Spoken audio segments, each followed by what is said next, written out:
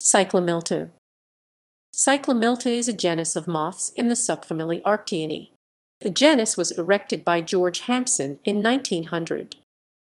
Species Cyclomilta cambodiaca Dubatolov and Bucsek 2013 Cambodia Cambodia Cambodia Fangchenglaiae Dubatolov Kishida and Wang 2012 Guangdong province of China Cyclomilta melanolepia Dudgeon 1900 Sikkim state of India. Of India.